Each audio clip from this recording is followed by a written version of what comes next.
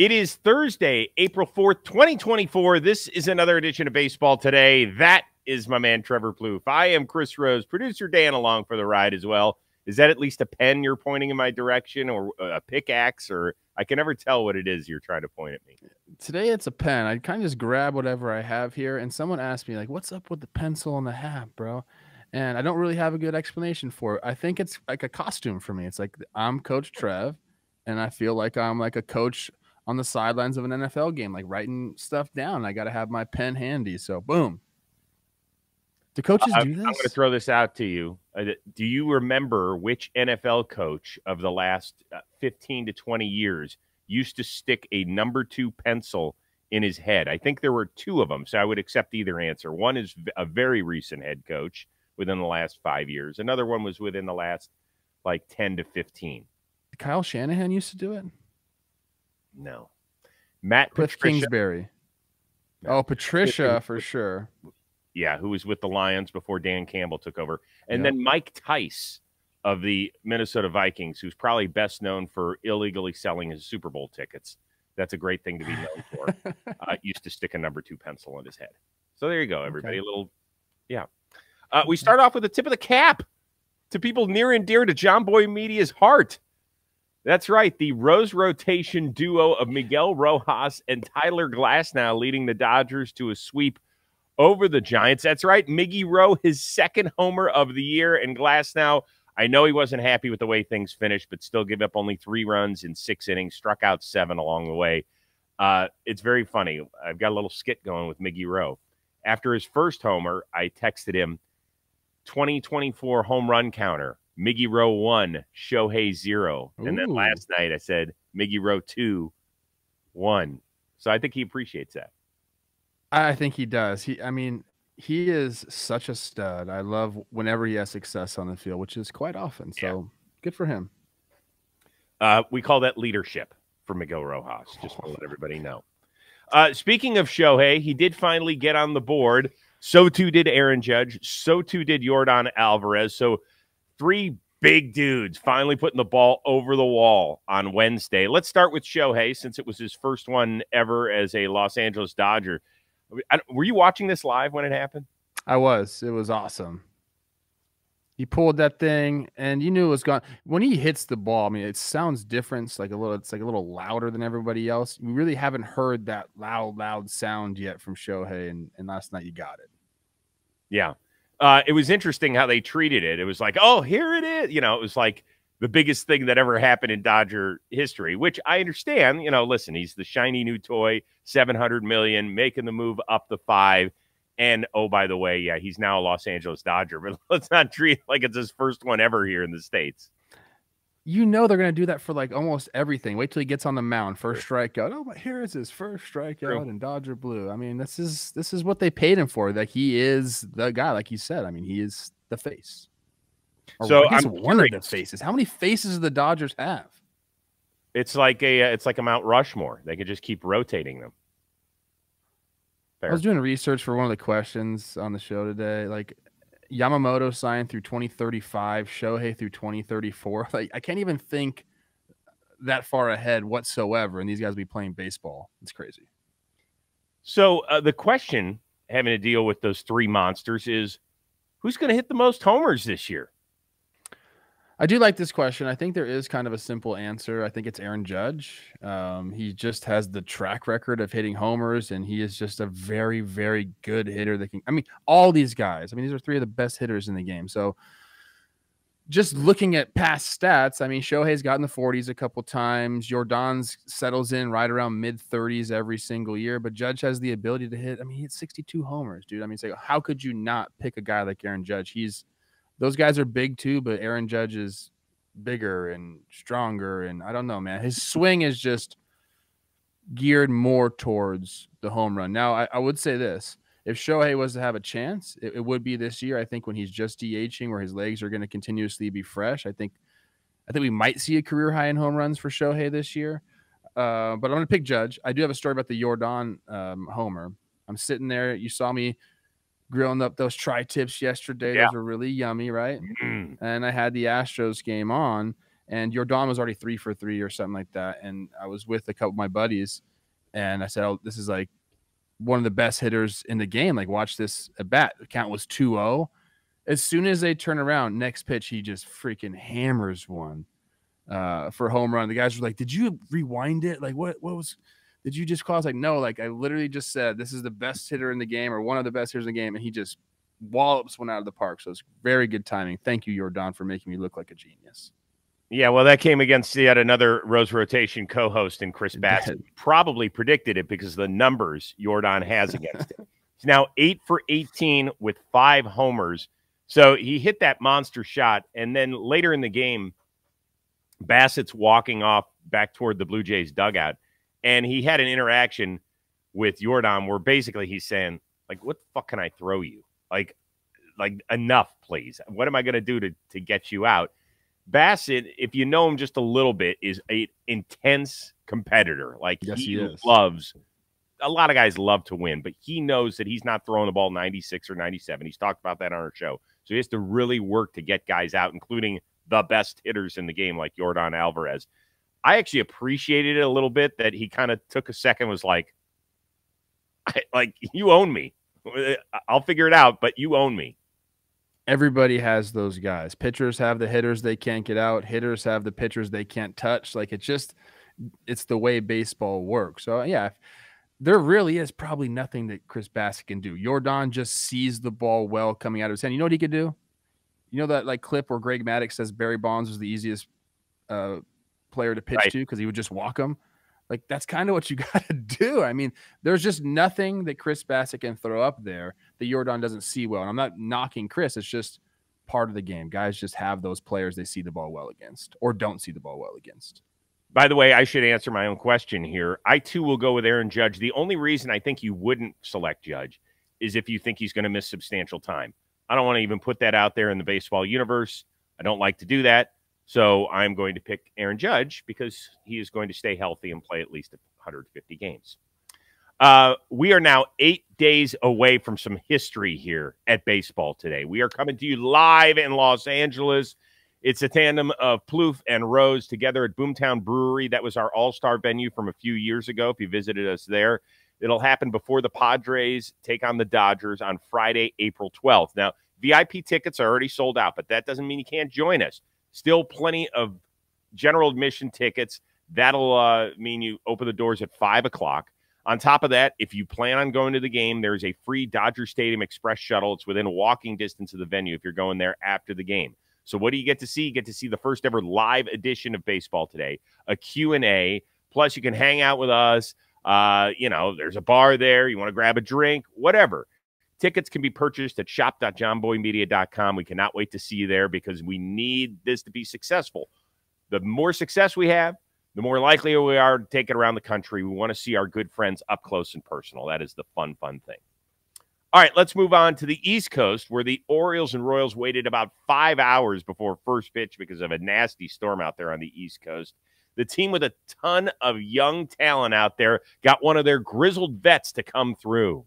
Pitch McCann, left side, base hit. Mountcastle ties it. Mullins will win it. Nice job by James McCann, who is still very much on the New York Mets payroll, by the way. My question is this with the Orioles. They're coming off a 100 win season. They've got all these young studs, including a bunch of guys who continue to do massive damage in the minor leagues. Are they better set up for a five year run at the major league level than any team out there right now? Uh, this was the tough question for me today, Chris. You always give me one tough one that makes Good. me really think and kind of pisses me off a little bit. I will say this there's a bunch of teams that are really well set up uh, for the next five years.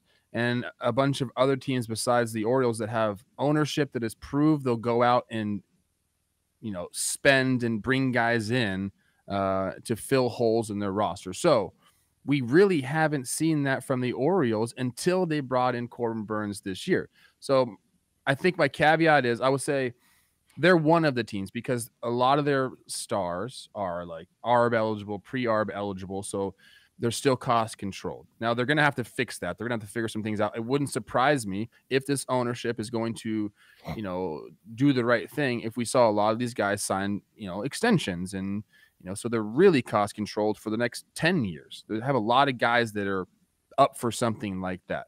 So if they take care of that business and then prove that they'll bring the payroll to where like it should be, then they're one of the teams uh, that could be the best set up for the five next five years. I mean, the Dodgers are really set up for the next five years. The Braves are really set up for the next five uh, five years. The Rangers are really set up for the next five years. I mean, you really go around the league, and those ownerships have proven they're willing to spend to fill holes. I gotta see the Orioles' new ownership do that. I believe they're headed that way. Um, but until I see that, I'm gonna say no. I, I still think it's the Dodgers. I really do. And like I know everyone's like, you guys are on the Dodgers. Well, for good reason. I mean, go look at their roster, who they have locked up. They have some young pitching that's like they have Bobby Miller, who's going to be an ace, uh, who is still making the league minimum. So like they're set up as well. And I just think that they've proven that they're willing to go out and make those moves. I mean, think about the pitching the Dodgers have locked up. Ohtani, Glasnow, Yamamoto, Bobby Miller you know, a couple other guys that we can see like Gavin Stone. So I just I'm still going to go with them over the Orioles. The Orioles have a shot if the new ownership proves willing to go out and fill holes via free agency and trades. Yeah, you're talking about uh, David Rubenstein, who is from Baltimore and just purchased the team officially last week.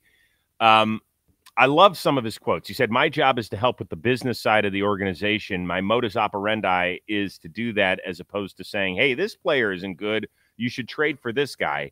So he's like, okay, I'm here for financial backing. Other than that, you're really not going to hear from me unless I go around the stadium and go buy beers for everybody like he did uh, last week. Um, I one other touch, just very quickly on the Baltimore Orioles, where I know that you guys are obviously super excited about your team, but a little thing that may have slid under the radar yesterday was the fact that I mentioned it was a five-hour delay. Usually, we don't have five-hour delays. Usually, it's like two hours and they bang the game, and I'll see you at another time. Not only did they wait and play the game, which is tough on fans, they recognized how difficult it was. They announced that you will get a ticket to a future game, a Monday through Thursday game somewhere down. It's the right thing to do. And they did it. And I like that. And I think what it means is we don't have to talk shitty about Orioles ownership. And I think that no. this guy is going to supply the money. And I don't think that he's going to come out like the previous ownership did and say, well, if you want us to keep these young guys, we're going to have to raise ticket prices, which is the last thing any Orioles fan wanted to hear uh, during their first 100 win season since 1980. So I think this guy's going to do it right. I do believe in him.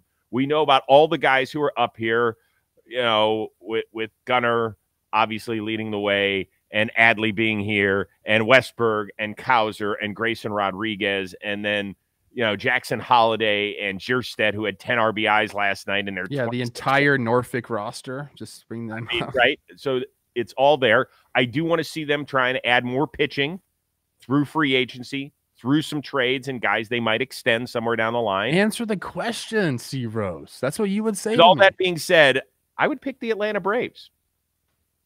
I picked the Atlanta Braves because Acuna, Ozzie, Riley, Strider, and Harris are all 27 and younger.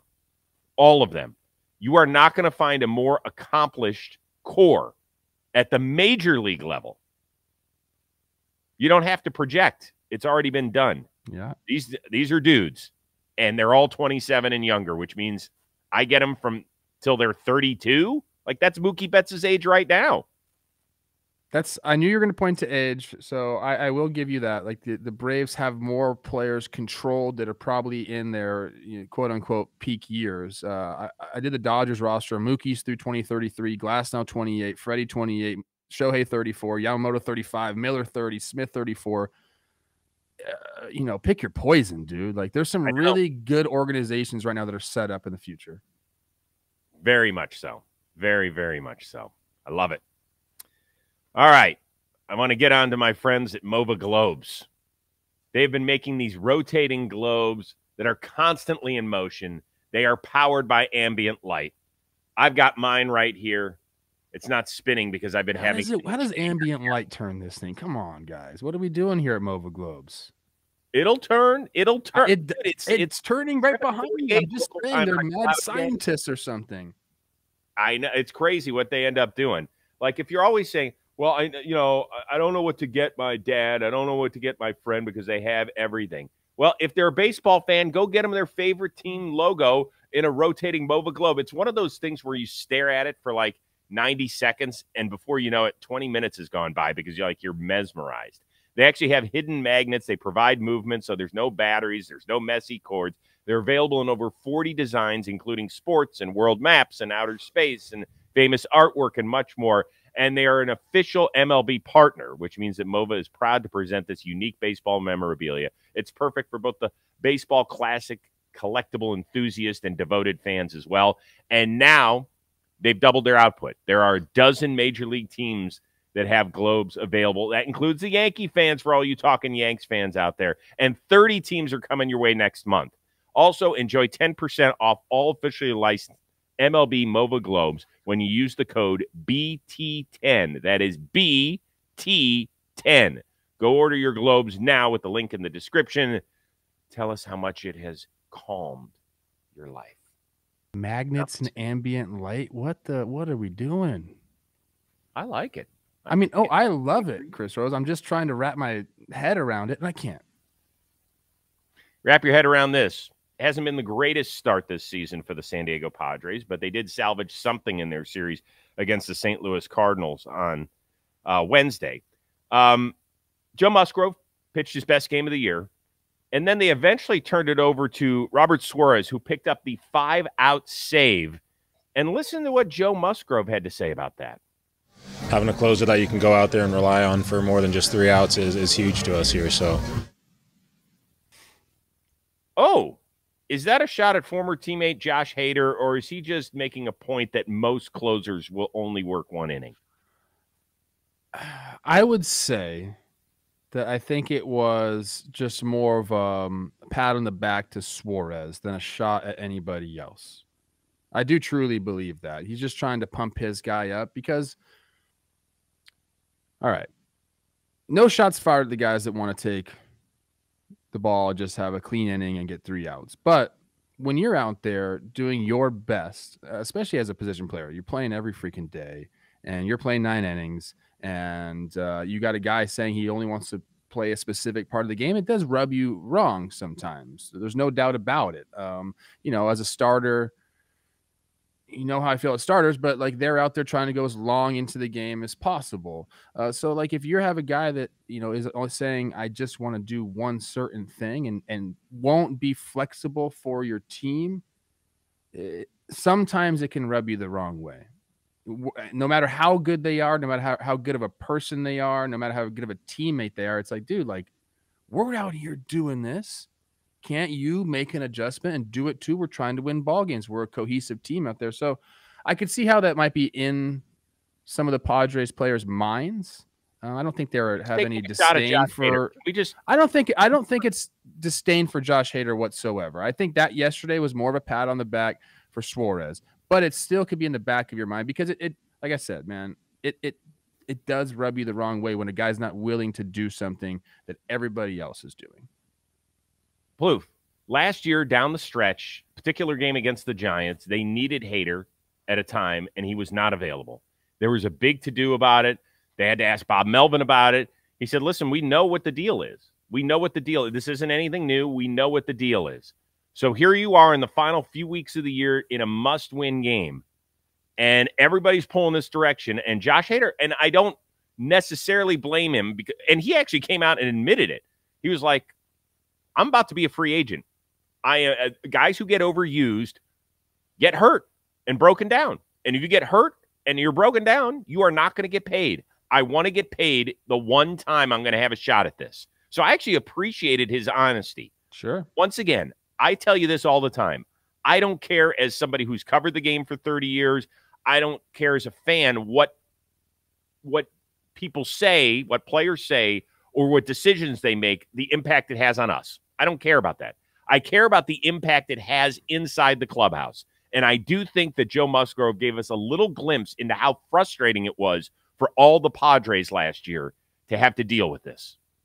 Sure, like he 100% with with context and understanding the background of the situation it could seem like a shot i don't think joe musgrove was up there like i'm going to take a shot at hader right now eh, you know in this press conference that i agree with i think it was more like hey look at our guy doing it like he did a great job today picking us up you know getting the d- big double play and then you know like finishing the game off uh, but because we know what happened last year and who was there last year obviously like the context matters. So like yeah, like it was what's it called? Like an errant, like a friendly fire. Like he didn't mean to do it, but he did it because of the situation last year.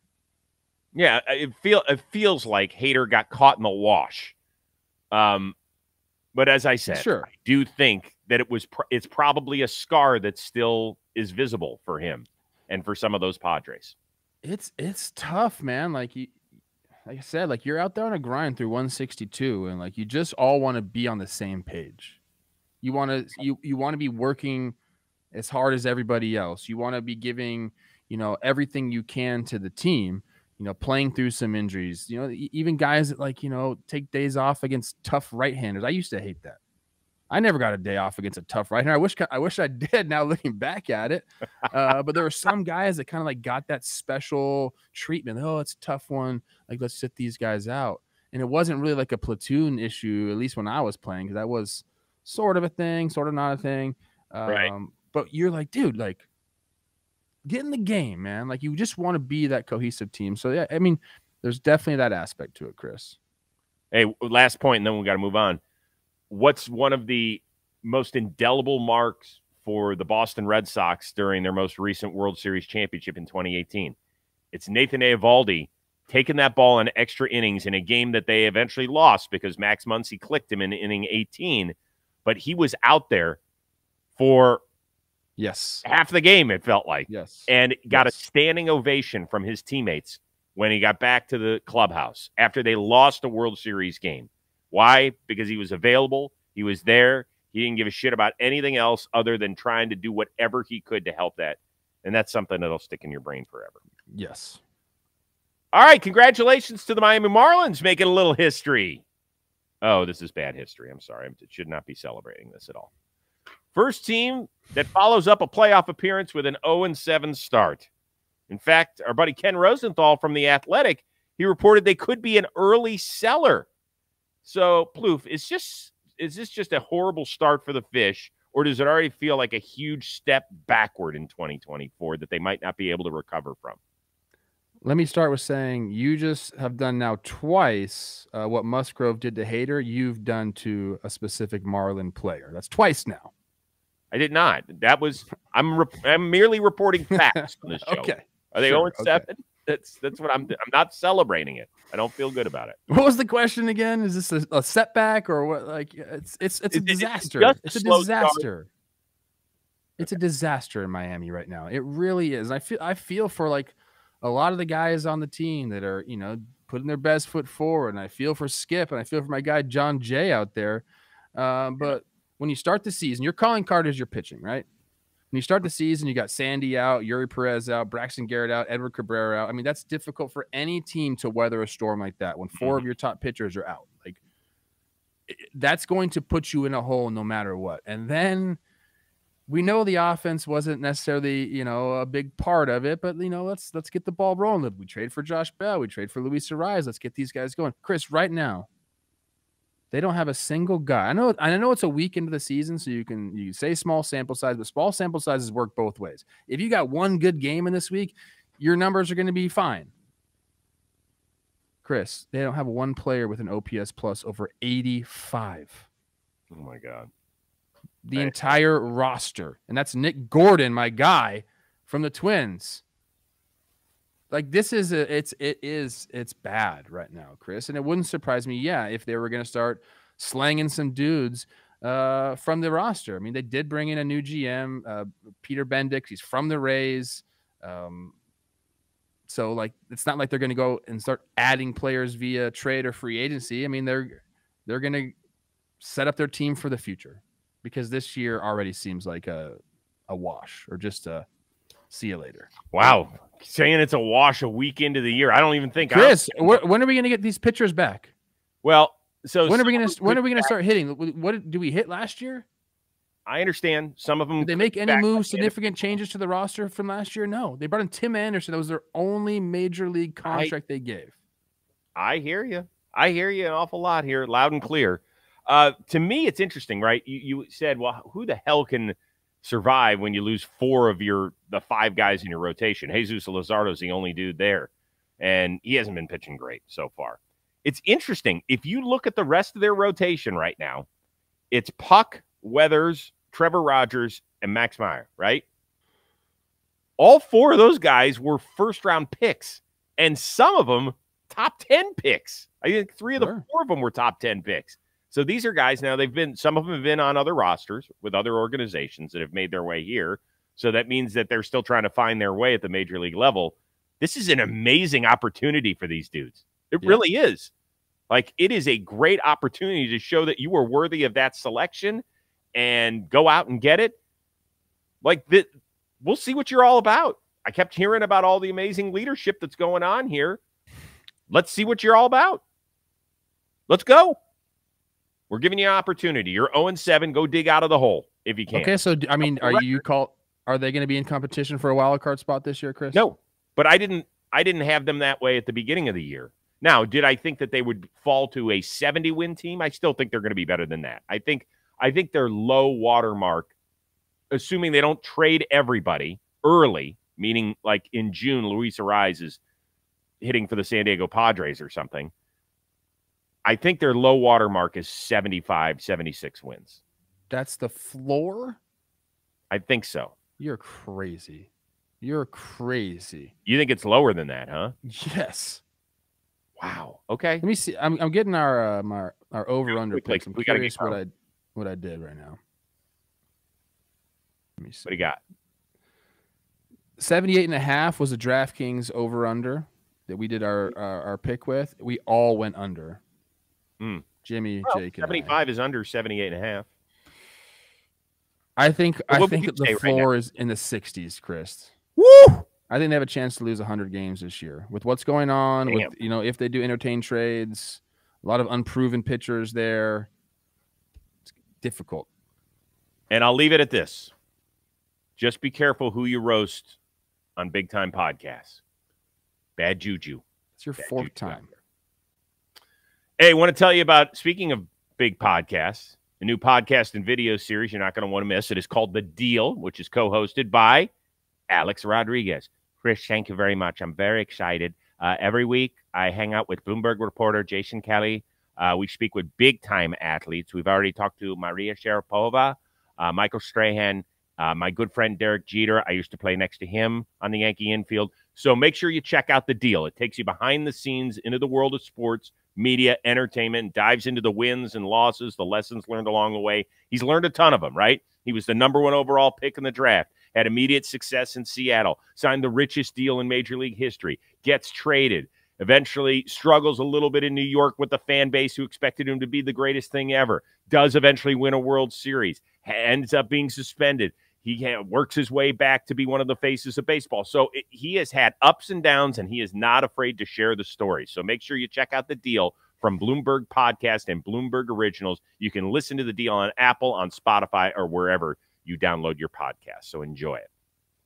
All right, before we get out of here, Reds win a series in Philly. Boy, the weather was nasty for those three days, just horrible. Frankie Montas, though, I think the big story certainly yesterday, he has now uh, allowed just one earned run in his two starts, totaling almost 12 innings. Because of the injuries that he has had recently and the inconsistency, how shocked are you with his start? And let's go quickly on this one. Well, I mean, he says he's fully healthy, and we've seen what this guy can do when he's fully healthy. He's got that fastball he can ride up there, upper 90s, top of the zone. He's got a great splitter, a couple other complimentary pitches that he throws off. So uh, he's shown that he's able to do it at the big league level before.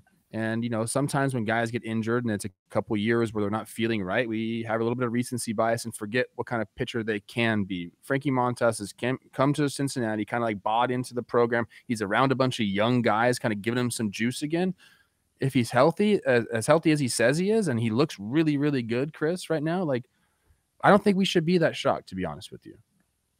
I think it was the money that shocked us more than anything, not the opportunity. We thought maybe a guy bouncing back from basically a year and a half without throwing a pitch, or at least a year. Um, maybe a one year, eight, nine million dollar deal. He got in the mid teens, which is great for him. But I think I think that was the surprising thing. Um, he, it's been it feels like it's been so long since he's been good. It has been three years. Like 2021 was the last time he was dominant, and you were like, oh man, that's going to be a great trade piece. And then he gets to New York and doesn't work out. 2022, yeah. he was good with Oakland though, and then he went to New yes, York. He and... did start out, yes. yeah, but it still it feels like it's been a decade, even sure. though it obviously hasn't been a decade. But it just feels that way. Um, good for him. He's rediscovering himself. I know that Reds fans and other baseball fans have been having fun on social media saying, I love the way that he's following the Sonny Gray model to a T, where you go from Oakland, you go to New York, doesn't oh, yeah. exactly work out there perfectly, and now you go on to Cincinnati, which means that we'll see him in Minnesota next year. I love that. And then signs a rich deal with the St. Louis Cardinals. So it should work out perfectly. So good for him. Um, don't forget to go get your tickets for uh, Boomtown Brewery a week from Friday. Shop.jomboymedia.com. General admission are still available. Go check out your MOVA Globes. Uh, go check out the deal on Bloomberg Sports. One thing you will not be able to check out Friday is us live. We have to tape tonight's edition after all the games are over. It will be out for early consumption via YouTube and wherever you download your podcast. So we're not missing a show on Friday. It just means that if you join us live, take a breather. We'll see you on Monday. So thanks as always producer Dan's fault. It's producer Dan. It's it's not his fault. Dan oh, is not? always available, always available. He's got something going on, and so we are making the adjustment for him. I don't love you, Dan. I'm just messing extra, with you, bro. He's got to get an extra pump in at the gym. If he has to go pray to his uh, Aaron Judge poster, I don't know what he's doing. I don't ask. I love Dan, but I don't ask one damn thing about what's going on in his life outside of work because answer might scare the shit out of me. But we will do whatever we can because we're a team here. So uh, thanks to our one of a kind producer, Dan Rourke, and the uber talented Trevor Plouffe. I am Chris Rose. We will see you Friday on Baseball Today.